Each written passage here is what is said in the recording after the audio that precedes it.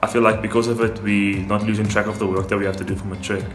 The best thing about online learning is we have an opportunity to record the lessons so that when you do not understand the homework later, you can always go back. And making it much easier to, to cope with the COVID 19 because I mean, imagine only going back to school later on in matric, uh, it's going to take a toll on your academics.